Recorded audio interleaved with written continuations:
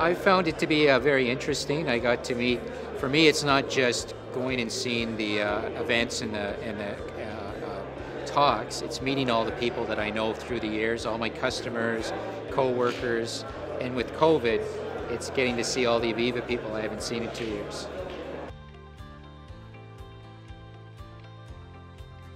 Well, I was one of the presenters, so that brought me to the event. I got to present a successful project with one of my key customers, and uh, uh, got to you know answer questions for people who were interested in what we were doing.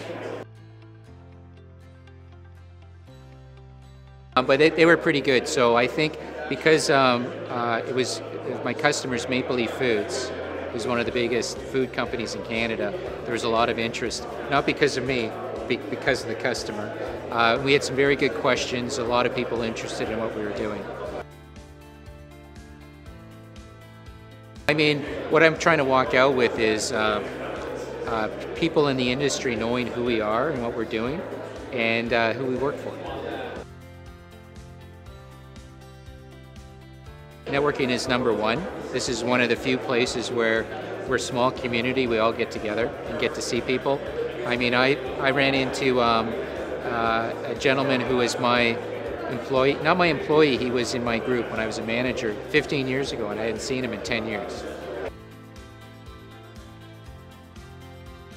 It's for customers, it's absolutely valuable because they get to see what this stuff is.